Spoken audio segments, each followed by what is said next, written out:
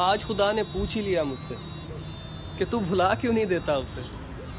मैंने कहा, इतनी फ़िक्र है मेरी तो तू मिला क्यों नहीं देता उससे किया